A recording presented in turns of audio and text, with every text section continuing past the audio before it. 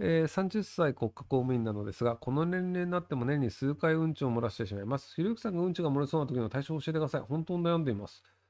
まあでも多分もう自然に出ちゃうタイプの人であれば、まあ出ても大丈夫な服を着るようにすればいいんじゃないですか。あの、白いズボンを履かないとか、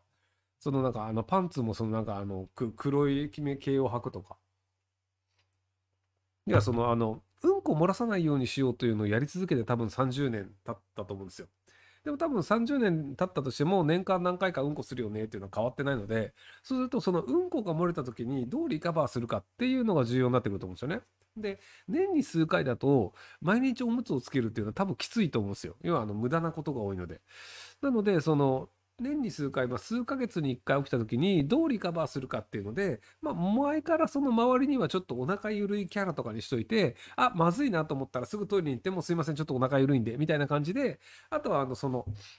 出先とかでもそのあのポケットの中に必ずその替えのパンツ的なものを入れておくとか、まあ、あのパンツも捨ててもいいんですけど、まあ、とりあえずそのトイレに行った後にあのトイレの中だけで通常の状態に戻れるようなセットっていうのを必ずあのポケットのどっかに入れておくとかそんな感じであのうんこが漏れても大丈夫なあのし仕組みを作っておくといいんじゃないかなと思います。匂いが問題とかうんこが漏れた瞬間にすぐトイレに行けばあの誰かがおならしたのかなぐらいで済みます。はい 食事中です。ちなみに僕、今日、あの今朝というか、昨日の夜から今朝、あのさっき食べたんですけど、カレーでした。